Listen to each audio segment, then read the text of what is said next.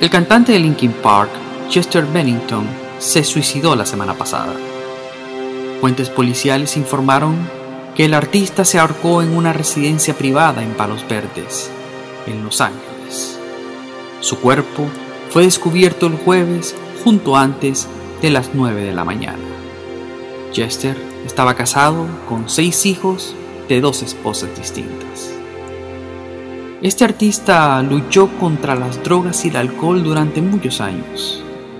Él mismo había manifestado en el pasado que había considerado suicidarse porque había sido abusado cuando era niño por un hombre mayor. Además, era muy cercano a Chris Cornell, miembro de la banda Soundgarden, quien también se suicidó de la misma manera poco tiempo atrás. Soy Carolinus del Mensajero Solitario y hoy voy a hablarles del suicidio y sus consecuencias espirituales. La mayoría de las personas se preguntan cómo alguien que lo tiene todo, que tiene fama, fortuna, poder mediático, todo lo que cualquier persona soñaría en su infancia y aún en su adultez sueñan, pueden tomar decisiones tan drásticas en su vida. Las personas que se suicidan son muchas veces acusadas injustamente de ser cobardes, nada más alejado de la realidad. Los suicidas son personas enfermas, son personas que son esclavas de la mente reactiva y su banco de engramas. Son personas que necesitan ayuda y por tanto cometen este acto hostil porque están enfermas y necesitan ayuda. Ahora, ¿qué pasa con el espíritu de las personas que se suicidan? ¿Van al infierno? ¿Van al purgatorio? ¿Cuál es el destino de estos espíritus? La Iglesia Católica nos enseña que aquellos que se suicidan están condenados a ir al infierno y arder para siempre. Otras filosofías espirituales y religiosas nunca dan un buen augurio a aquellas almas que se suicidan. En resumen, pareciera que todas aquellas personas que son víctimas de esta enfermedad y terminan cometiendo suicidio no tienen salvación.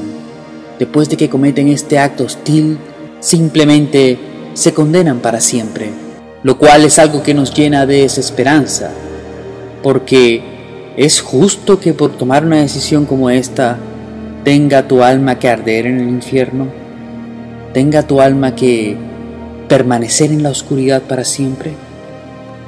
Nosotros en el mensajero solitario hemos descubierto a través de nuestros ejercicios mediúmnicos que no pasa nada de esto. Si bien es cierto cada caso es único e irrepetible y no se puede generalizar, también es verdad que cuando somos víctimas de una enfermedad mental, no necesariamente tenemos que generar un karma y que por tanto no se nos condena a la oscuridad eterna. A pesar de que los casos son irrepetibles, Puede suceder que una persona que decida suicidarse cause muchos daños colaterales. Es decir, muchas personas van a sufrir con el fallecimiento de ella.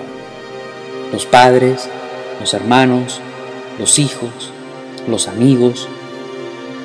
Sobre la persona que se suicida recae ese karma que produce el acto hostil en sí. Si la persona sufre la pérdida y se crea un engrama de emoción dolorosa por la pérdida de ser querido, la persona que se suicida asume esa responsabilidad y genera ese karma para sí mismo y tiene que repetirlo en una vida más adelante. E incluso, a veces, en una vida de repetición. Así funciona el mundo espiritual.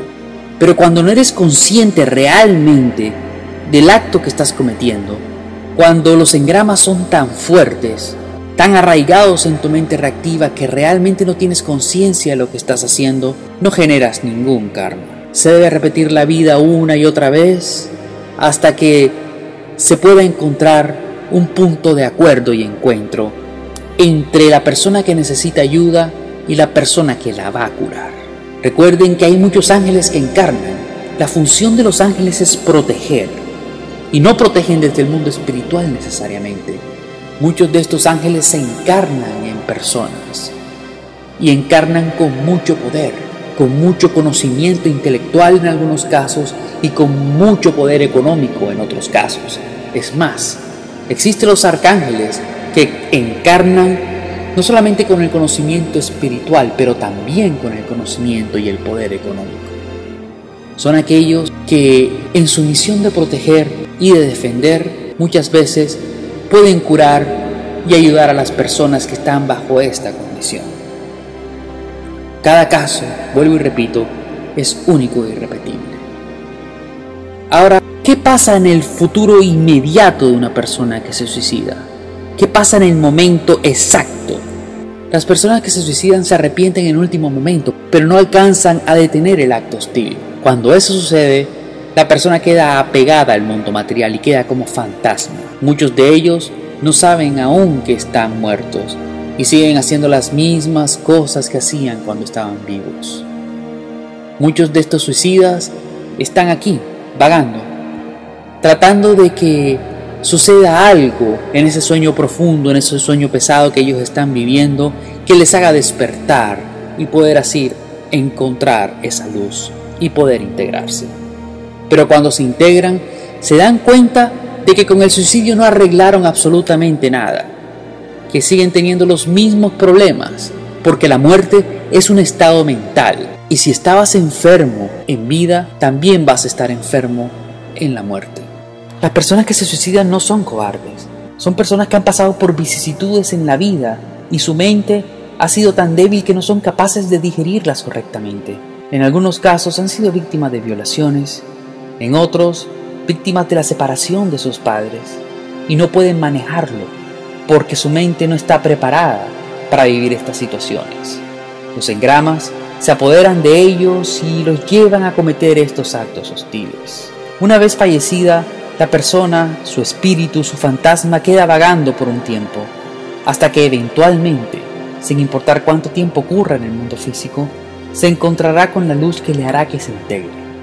Cuando ese espíritu se integre, tomará la mejor decisión, que muy probablemente en la mayoría de los casos sea repetir la vida para poder encontrar esa cura. Es decir, la misión de los suicidas en la próxima vida siempre va a ser encontrar esa ayuda, esa persona, ese ángel que les devuelva su salud mental. Y bien, esto ha sido todo por hoy.